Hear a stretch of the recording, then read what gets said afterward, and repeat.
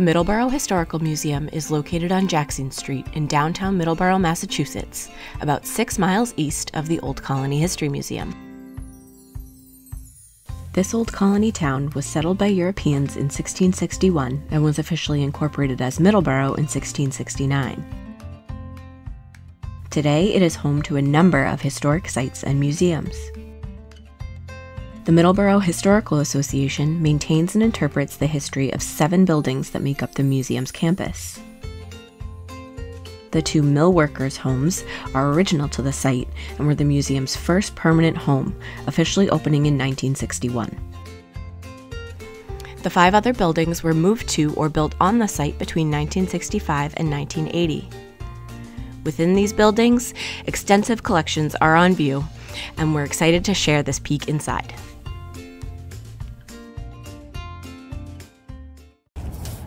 Good afternoon and welcome to the Middleborough Historical Museum, run by the Middleborough Historical Association. My name is Daniel Thompson. I am the president of the Middleborough Historical Association and your guide for today. The museum has been here for over 60 years um, and the buildings that we see here were mill houses that were built by Colonel Peter Peirce for his workers. Colonel Peter Peirce was a prominent businessman here in Middleborough. Colonel Peter Peirce lived in the home that you see across the street over there of uh, North Main Street. Uh, very beautiful, well-kept home that fortunately was saved from being torn down and a gas station being built there. The white building that you see behind us here was the Colonel Peter Peirce General Store and the upstairs room was used for a lot of um, gatherings and meetings. Could hold up to 200 people.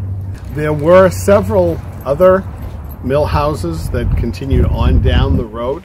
However, they were torn down due to be demolished in the uh, 1950s, late 1950s. However, these two were saved thanks to Lawrence Romaine, who uh, approached the town and the um, Historical Association was then able to purchase these buildings to be the core of the museum.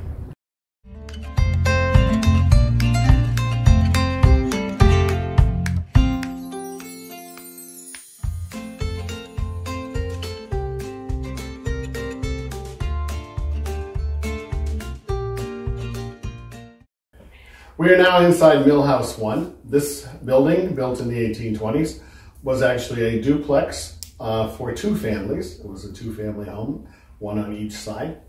Uh, we're in the room that was the living room and is the reception room for the museum now.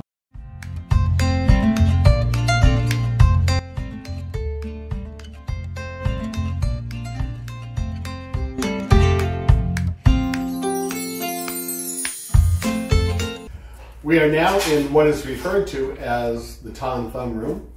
Our museum is very often referred to by people as the Tom Thumb Museum because that's what we're known for. Here uh, in uh, these three rooms, we have information about uh, Lavinia, Mercy Lavinia Warren Bump, who was married to General Tom Thumb, Charles Sherwood Stratton from Bridgeport, Connecticut. They were the world's first superstar entertainers uh, recognized worldwide, particularly because of a three-year world tour that they took in 1869. They worked for P.T. Barnum. Uh, Barnum had discovered um, Charles Sherwood Stratton in uh, Bridgeport, Connecticut, um, and took him on as an entertainer. Both Tom and Lavinia had what was called proportionate dwarfism. They were little people, but they were perfect in form. As you can see here, the cutout is an actual life-size cutout of them at their wedding, which was the, um, social event of 1863 that even included a, a, reception at the White House with Abraham and Mary Lincoln. In uh, one of the rooms over here, we have uh, what we refer to as the bump room looking at Lavinia and her family. Lavinia's sister, known as Minnie, also was a little person, but she had four full-size brothers, two full-size sisters, and her parents were full-size as well. And on their world tour, As they traveled, they visited many foreign dignitaries, including the Emperor of Japan, Queen Victoria, who they'd seen before, particularly Tom on different occasions, who introduced him to the other crown heads of Europe. And they truly became worldwide entertainers. Um, contrary to popular belief and to uh, what we commonly hear, they were not circus performers. Um, the circus was P.T. Barnum's retirement project in the 1870s, and Tom and Lavinia had been married and around the world and so forth long before that as entertainers. Singing, dancing, Tom liked to do impersonations, particularly of, of Napoleon. Uh, so some of the gifts they received are in that room. We also have artifacts from um, examples of their clothing, home furnishings, and then after Tom's death in 1883, uh, at the age of 45, Lavinia marries Count Primo Magri, another little person, and they continue their entertainment um, and living here in Middleborough, where um, eventually both of them pass away um, in 1919 and 1920. Thing that uh, Lavinia wanted as an entertainer was she hoped to be remembered. So for example, one of the things that she did, there was there's a portrait over here on the wall that shows um, Lavinia later in her life and that uh, she presented to the town in hopes of being remembered. And that's truly what she wanted. She hoped for something like this for her family and for Tom and Count Magri, all to be remembered. Um, and that's one of our missions here at the Middleborough Historical Association.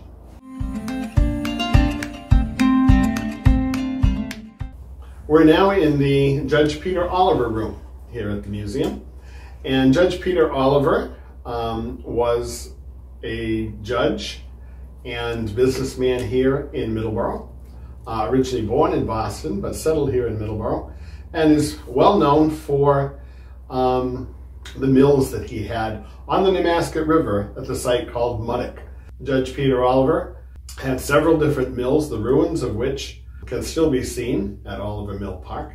By the way, the one of the largest herring runs. Some of the artifacts we have here are things that um, came from the home that was the Oliver Mansion. The Oliver Mansion is no longer standing because Judge Peter Oliver is known for being a loyalist to the crown during the American Revolution. And as a result, uh, ended up leaving Middleborough, going back to England in exile, really, from here. And his very large, prominent, beautiful home that had uh, been a source of entertainment for the Adams and the Franklins and uh, other personages of that time period uh, was burnt to the ground. However, some things were saved from uh, the fire, including this card table um, and chairs, which are from Chippendales.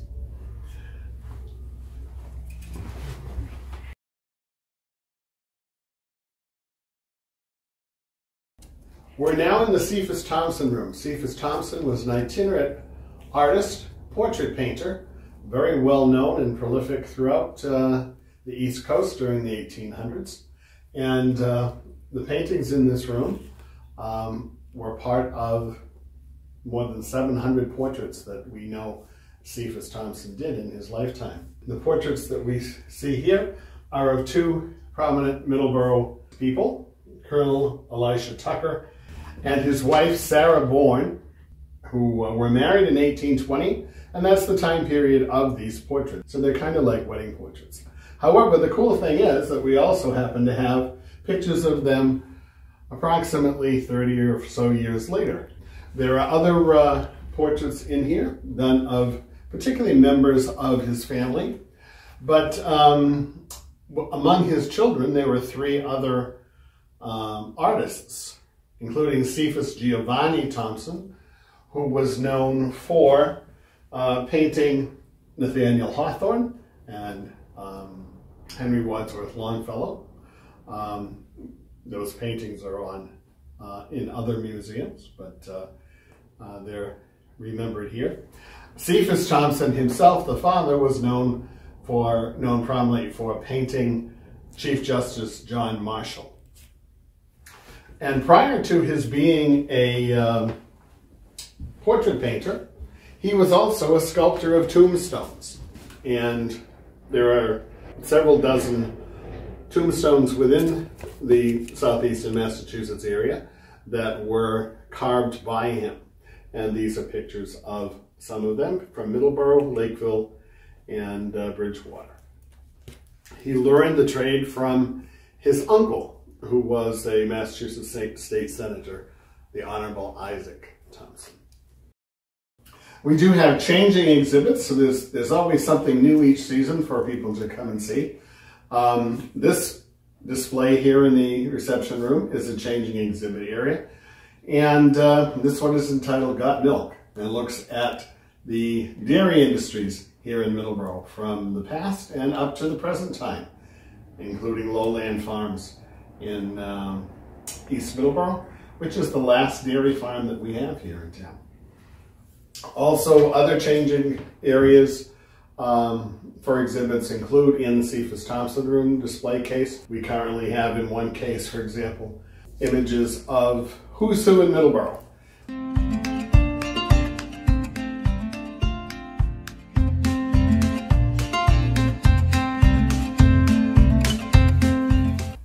We're now in Millhouse 2, which was a home for Peter Peirce's workers and um, single gentlemen as well in one of the sections that we'll look at. The room that we're standing in was the living room of the home. Uh, we're referring to it now as the music room because we have uh, four examples of music from the time period of the late 1800s, early 1900s. Uh, a pump organ that belonged to Tom Thumb's family. It's a small parlor organ, but it's not a miniature. In addition, we have an Edison phonograph which was invented, first of all, as a dictaphone by Thomas Edison. And interestingly enough, one of the first people to have his voice recorded was P.T. Barnum in uh, 1890. We have an ad here from its time period that shows that it cost approximately $20. Um, the speaker is basically this thing here, um, which is the horn. And the bigger the horn, the bigger the sound. Interestingly enough, in this room, which is a fairly good size, this horn is about as big as you want to deal with. Another uh, unusual instrument that we have is a Regina music player, which basically works on the same principle as a music box. However, it plays copper discs, and each disc has is punched to flick the keys, and uh, one time around the disc plays the song once, there's a um, setting on here that you can adjust the tempo and another setting that you can um, have it continuous play until of course it runs down because it didn't run by electricity. But if you were sitting around in your living room, this is the kind of thing that you might have listened to.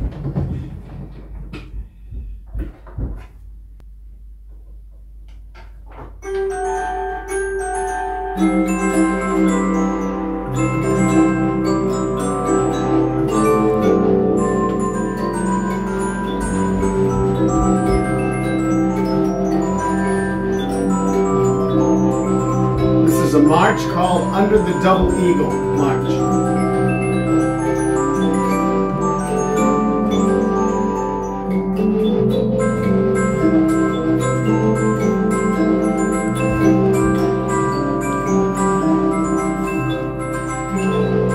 Time around the copper disc, plays the song once.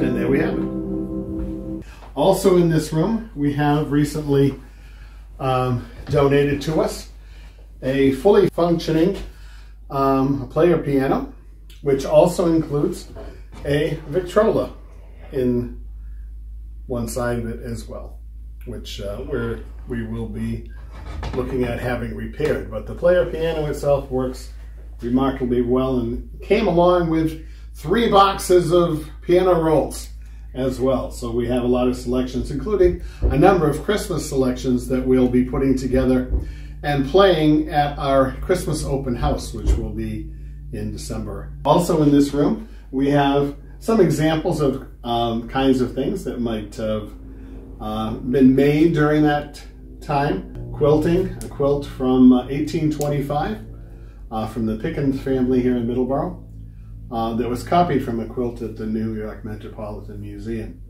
We have samplers um, from the 1700s and 1800, early 1800s as well, which was uh, something that young girls would have done in practicing their embroidery stitches and, and so forth.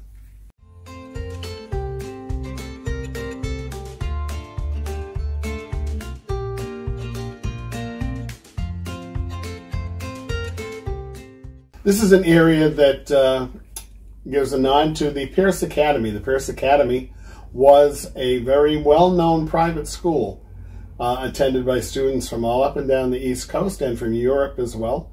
A residential school for many, the head of which uh, eventually went to become head of the zoology department at Brown University. As I said, it was a residential school. One of the things that we received not too long ago was this door.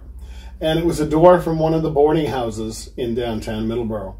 And this happens to be the bathroom door from the boys' boarding house with a lot of different signatures and basically graffiti from the 1860s, including some uh, some limericks and some other items that are of great interest.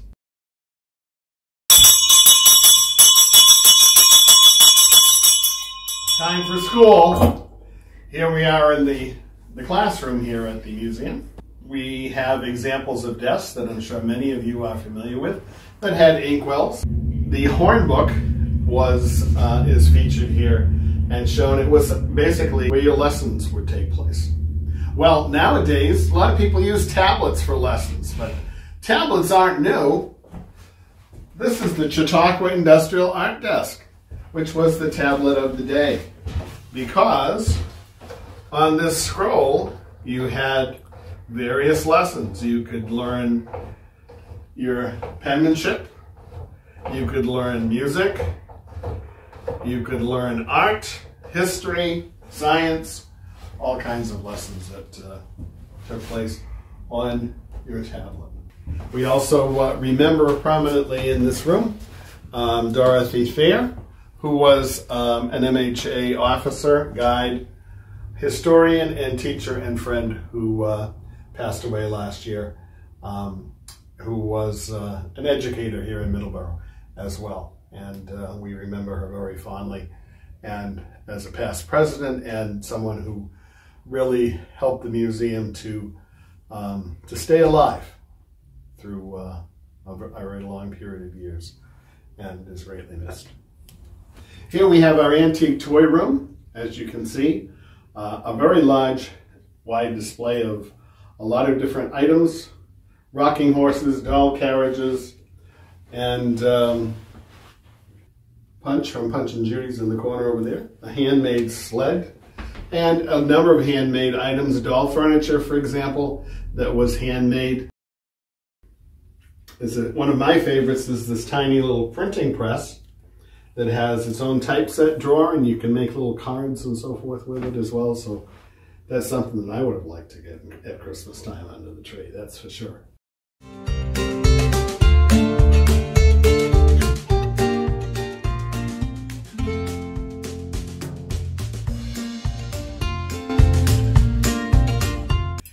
Here we're in the Deborah Sampson Military Room, which honors all who serve.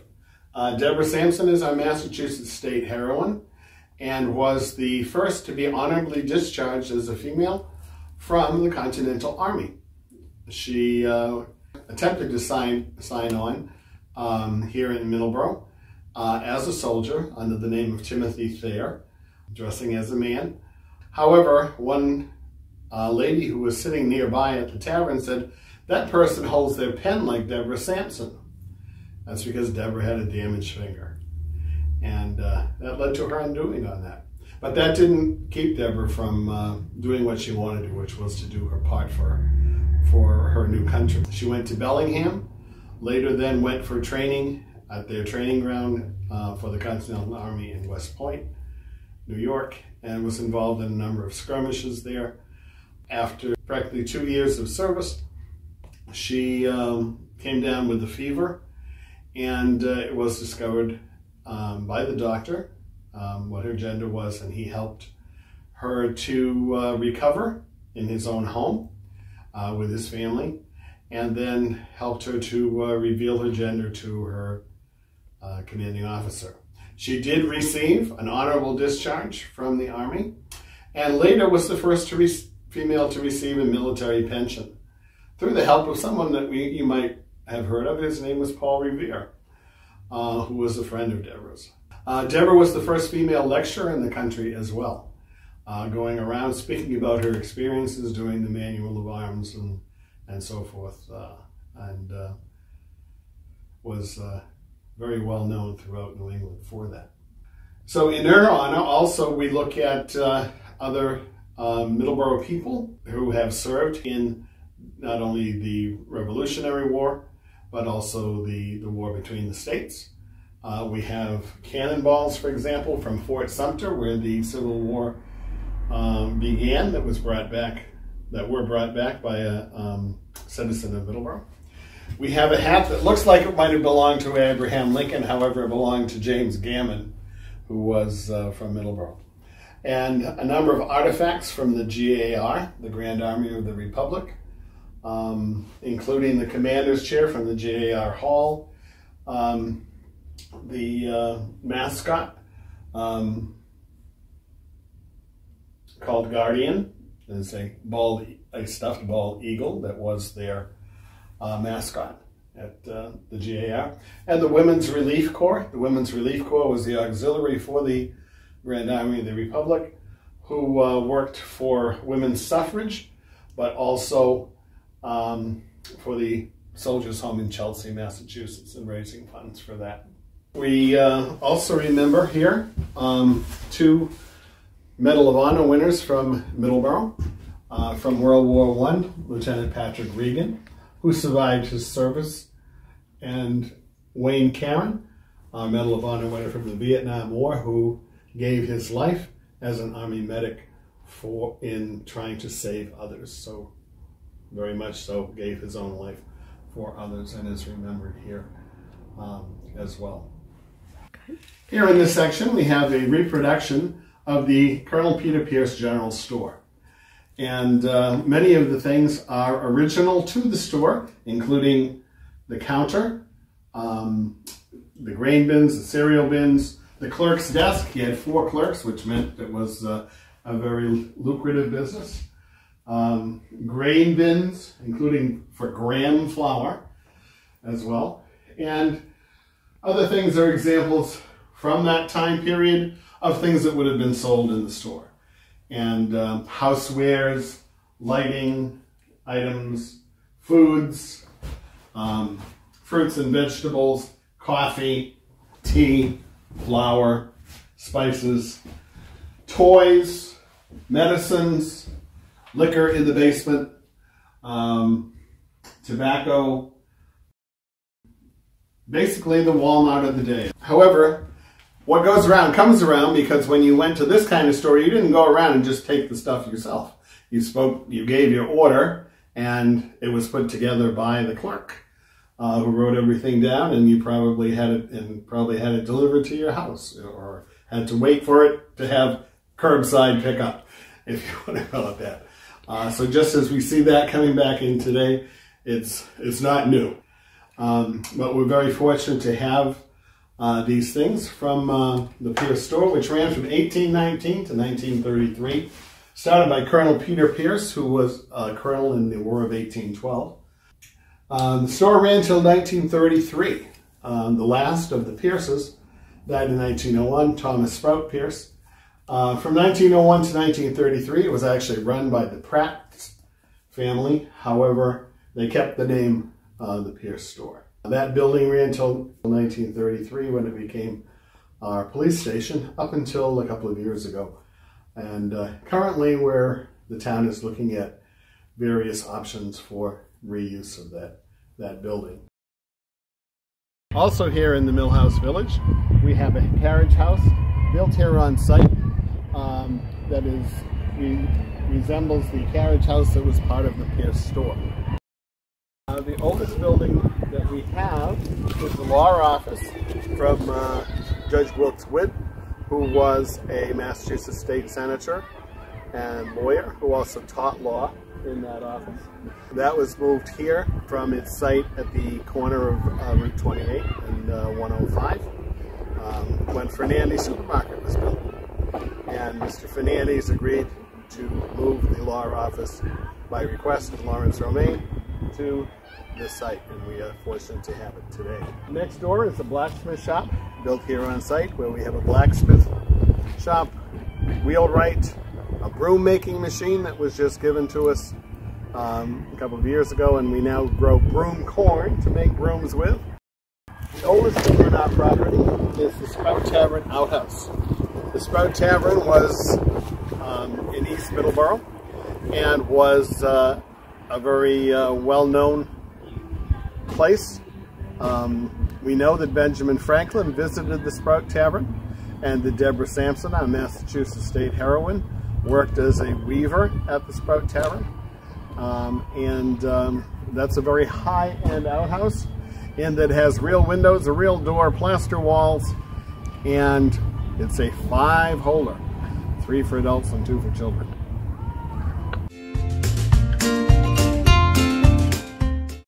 We're in another of uh, the seven buildings that we have in our Millhouse Village altogether. And this is the West Side Whistle House. It was built in the uh, 1800s and was moved on site to here from Vine Street, corner of Vine Street and Main, May Street on the west side of town. In the Whistle House, we have two fire apparatus, an 1854 hand pumper that was used originally in New Bedford and Mattapoisett before coming here to Middleborough and being used here. A step up from that, of course, uh, came along later as we got motorized vehicles. And we have here a 1934 Maxim Motors pumper that was built here in town, right on the opposite corner over here at Maxim Motors. Great uh, thing for children to uh, have as a photo opportunity. We allow them to sit up on the, the fire truck and uh, run the siren and ring the bell and so forth. So it's always a, one of the highlight experiences for, for kids. For the upcoming summer of June through October is our season and we will be open from 1 through 1 to 4 on Saturday afternoons. We are available at other times by appointment so if someone happens to have relatives, for example, who are visiting the area or a group that would like to come, um, particularly groups, it's often better to go at another time other than the Saturday one we're, we're, we're normally open. And we can arrange that by your contacting us through our email, uh, middleboroughmuseum at gmail.com, or our phone number, um, which is available also on our website, which is middleboroughhistoricalassociation.org, where you can find our contact information and information about the museum and upcoming events.